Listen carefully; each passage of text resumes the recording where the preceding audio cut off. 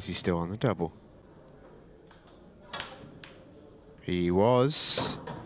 Oh, he was.